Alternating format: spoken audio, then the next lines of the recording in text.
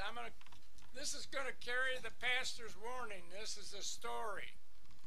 I um, I like to you know I like to listen to uh, Grand Ole Opry, and uh, he was telling the story about the man that went into a motel room and he found a Bible, and thank thank God they do have uh, Bibles in these motel rooms.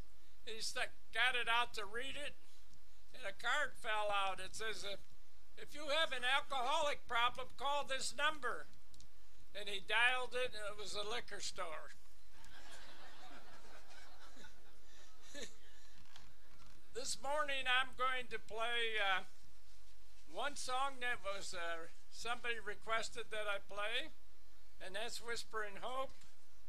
And the second one I'm playing for me. It's and it's it is no secret.